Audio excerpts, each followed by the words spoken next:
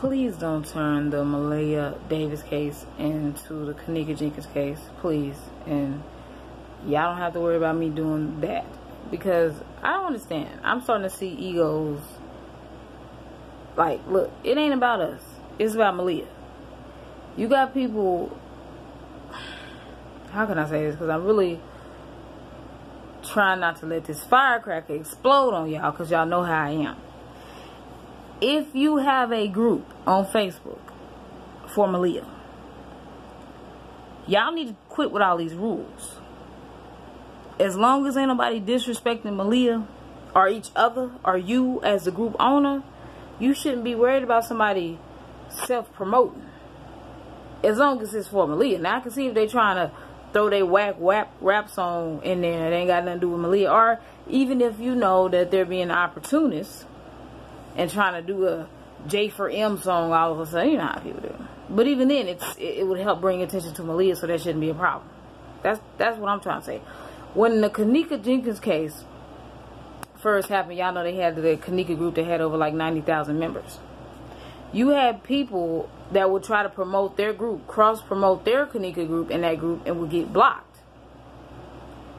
Too many egos in this. You shouldn't be concerned if another group is going to get bigger than yours. It doesn't matter.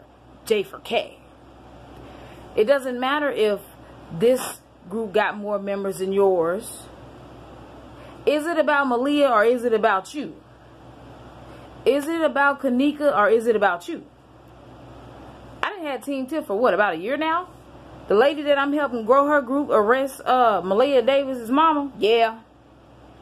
I'm petty. I'm for that. She already got more members in Team Tiff in her group that she just started. Am I like, oh no, let me stop. Let me stop plugging her group. Her group is now bigger than Team Tiff? No. Is it about my ego or is it about Maleah? And last time I checked, it's about Maleah. So, I don't care if you don't like me. That's number one. That's something y'all gonna really understand. I really don't care. I'm not like those people. I don't care what people think of me. Of course I care. But I don't care enough. Like somebody said, I ain't gonna say who.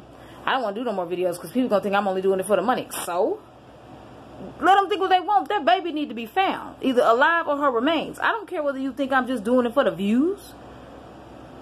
Obviously, I'm doing it for the views, seeing that that's the point. You want people to see it.